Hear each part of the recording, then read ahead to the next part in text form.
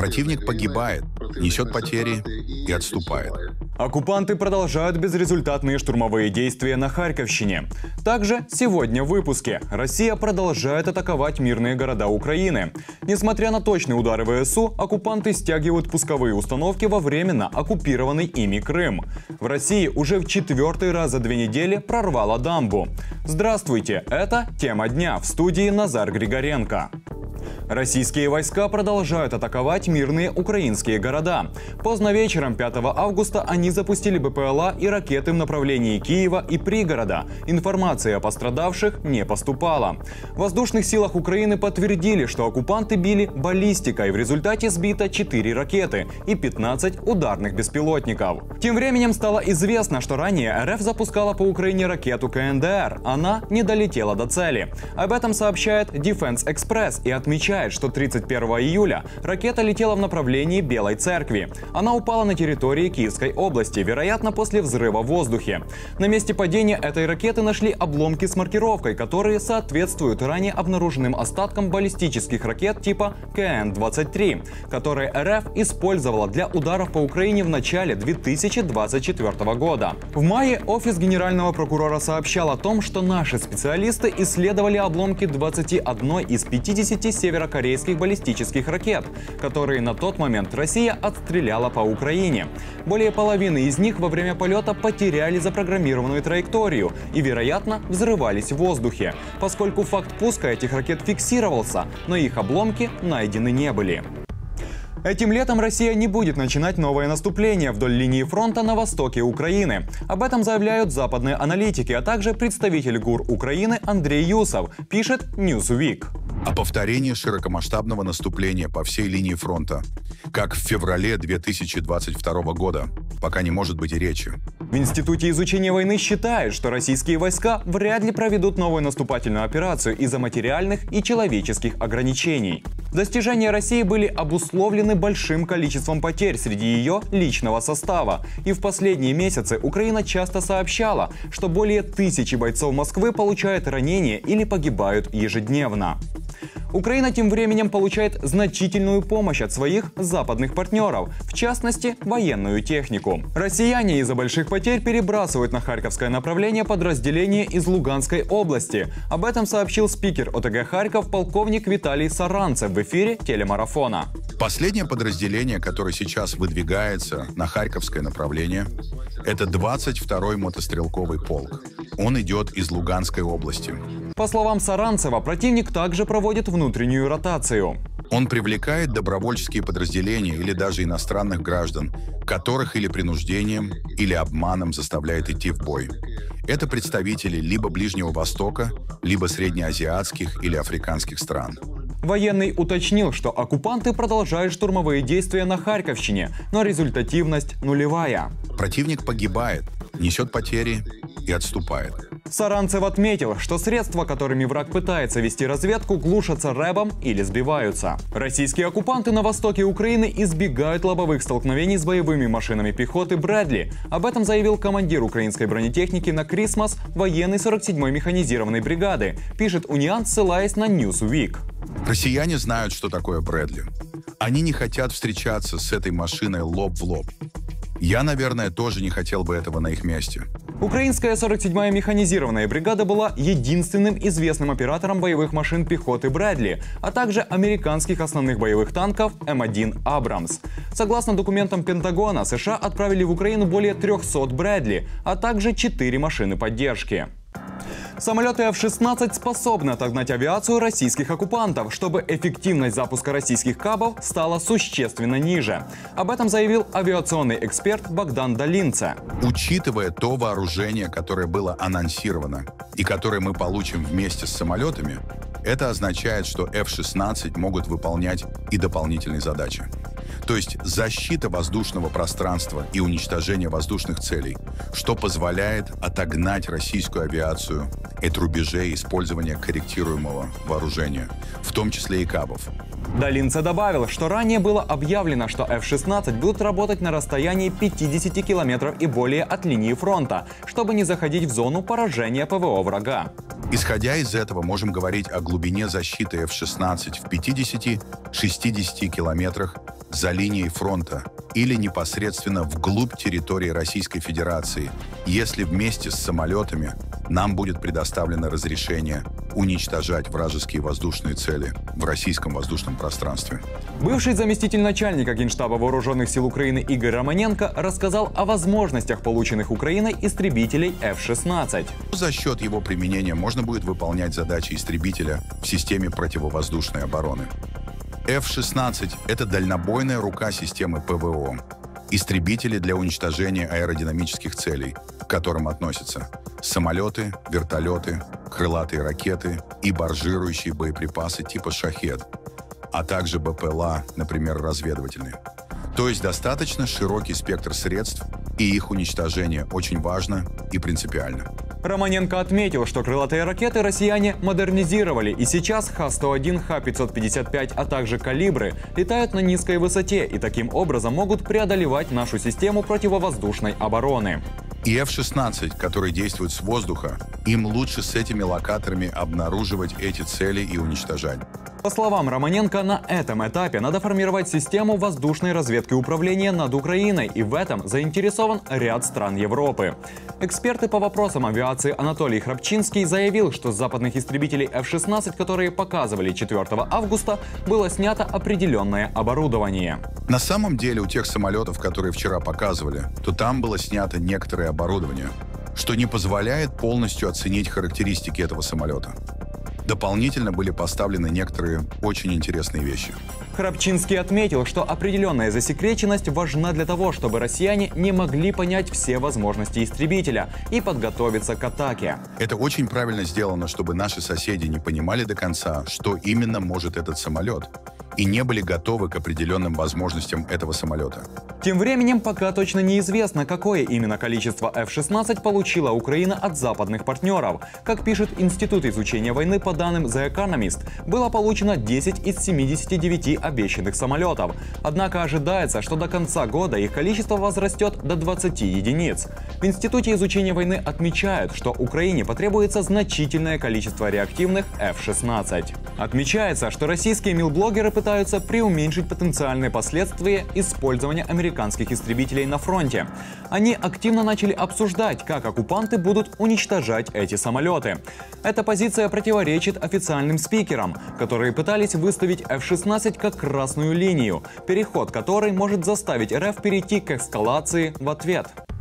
Представитель военно-морских сил ВС Украины Дмитрий Плетенчук заявил, что даже после точных ударов сил обороны по ценным ЗРК во временно оккупированном Крыму россияне продолжают стягивать на полуостров другие пусковые установки. Производство этих систем вооружения – процесс достаточно длительный и дорогостоящий. То есть эти установки точно не кончаются. В какой-то момент удары по вражеским объектам будет соломинка, которая сломает хребет верблюду. Спикер также отметил, что в частности в Азовском море на протяжении длительного времени присутствие вражеских кораблей не наблюдается. В Черное море россияне решаются выходить только подводными лодками. Сейчас там находится одна подводная лодка. Напоминаю, вышли субмарины втроем, две уже вернулись в пункт базирования Новороссийск. Боевого применения этих подводных лодок не было. Он добавил, что пока российские корабли находятся на базе Новороссийске, надо считать, что они присутствуют в акватории Черного моря. Опасность подтверждает тот факт, что в прошлый раз корабль «Адмирал Макаров» вышел всего на час, запустил 4 калибра и после чего вернулся на базу. Не следует забывать, что это не только корабли, но и авиация в том числе из состава Черноморского флота Российской Федерации, которая пока присутствует в воздушном пространстве над нашим Черным морем 24 на 7. Иран через Венгрию предупредил Израиль о своих планах нанести удар, сообщает The Jerusalem Post со ссылкой на главу МИД Израиля Каца. По информации издания, такой удар якобы должен стать ответом на ликвидацию в Тегеране лидера Хамас Исмаила Хани. Государственный секретарь США Энтони Блинкин заявил, что Иран и Хезбалла могут начать свою атаку в ближайшее время. Мы не знаем точного времени атак, но они могут начаться уже в ближайшие 24-48 часов. Блинкен обратился к министрам иностранных дел стран G7 с просьбой оказать дипломатическое давление на Иран, Хезбаллу и Израиль, чтобы те достигли максимальной сдержанности.